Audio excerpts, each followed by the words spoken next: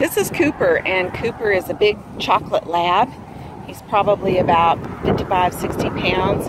Beautiful, got a nice shiny coat. Looks like he's in great shape. He was found here as a stray. He's decent on a leash.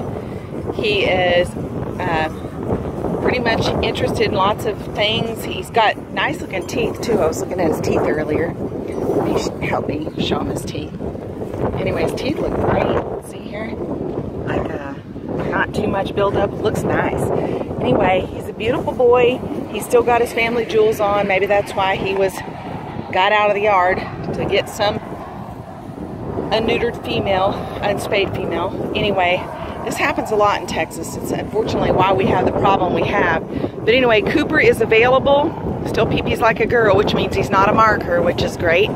Anyway, he's available uh, here locally in Texas, which is where Cooper is, or he can be adopted on the east or the west coast. The wind's kicking up. I hope you can hear the video, but this is beautiful.